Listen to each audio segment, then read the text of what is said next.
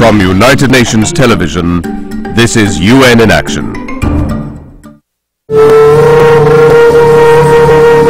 War-torn Afghanistan is an unlikely tourist destination. But there's hope that its World Heritage Sites and the first national park of Bandi Amir can attract tourists and help the local economy. The natural beauty and serene scenery of Bamiyan that has the potential of attracting tourism to the area. Dr. Habiba Sarabi is the first and only female governor in Afghanistan. She's been the driving force behind reviving tourism in Bamiyan since her appointment four years ago. We talk about ecotourism so the people that are living in these areas can benefit. For example, in different villages or valleys, there can be small guest houses that are run by the community. What makes this place unique is the enormous Buddhist monastery with thousands of caves carved into the mountain centuries ago. It was once known for the world's tallest standing Buddha statues, symbolizing the importance and prosperity of the ancient route connecting east and west, the famous Silk Road. But in 2001, tragedy struck. The Taliban, the fundamentalist Islamist group, determined to destroy everything non-Muslim, in particular all material images of idols, blew up the 1500-year-old statues.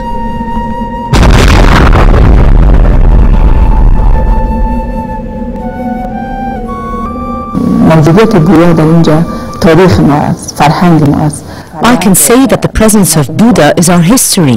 It is our cultural heritage. It is an integral part of cultural history of the people of Bamiyan. The remains of the statues were declared a World Heritage Site in 2003. UNESCO, together with the Afghan government, is trying to conserve the Buddha niches with their cave art while paving the way for tourism, says Brendan Cassar, UNESCO's archaeologist in Kabul. Development for the people, jobs, employment, diversification of the economy uh, from potential industries like tourism. For the adventurous, there are other things to see, but it takes about three hours to drive the rugged, poorly maintained dirt roads to the spectacular Bandi Amir lakes. A cluster of six deep blue lakes tucked into the Hindu Kush mountains makes up the first national park of Afghanistan. To expand tourism, certain amenities are necessary to make it possible for the visitors. One of them is transportation.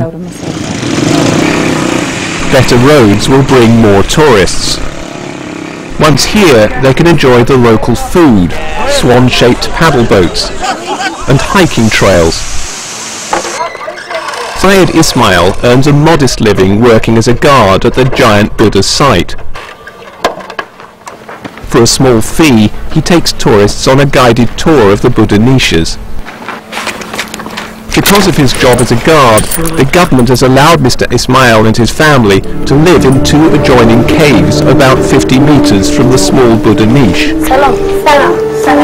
But there's been a lot of discussion worldwide about the future of the site and whether or not the two Buddha statues should be reconstructed.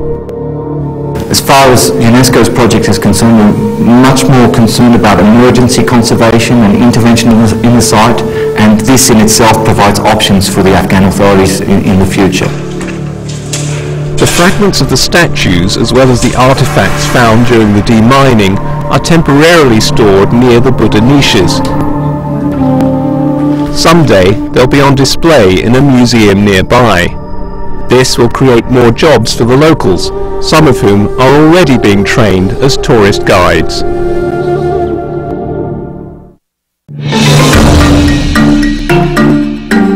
This report was prepared by Sasha Gorishek for the United Nations.